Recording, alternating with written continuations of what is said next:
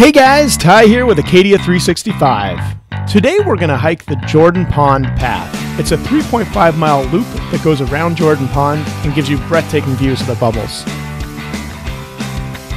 We're going to start this trail by taking a right from the boat launch and go around the pond counterclockwise. This is not the route most people take, but it offers breathtaking views of the bubbles and the pond as you're hiking around it.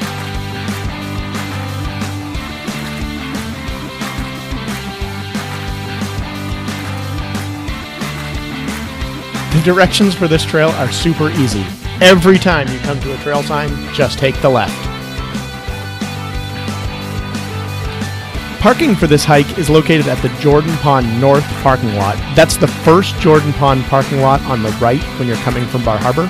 This lot fills up quickly, so the earlier you can get there in the day, the better off you are. This portion of the trail is very well groomed, almost like a carriage road. The other side of the pond offers boardwalks and a little bit of rock scrambling to make it a little more challenging.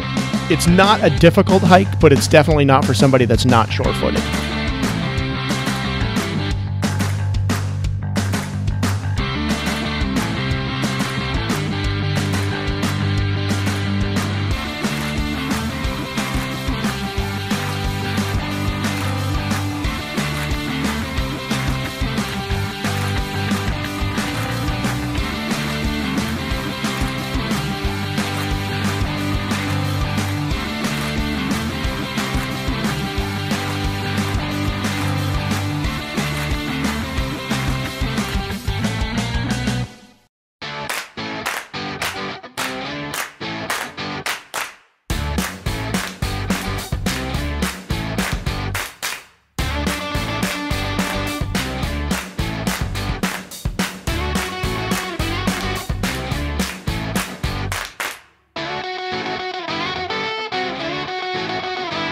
If you enjoyed watching this video, please hit subscribe now, and you'll be notified when we upload new videos. No, no, no, no, no. I mean you.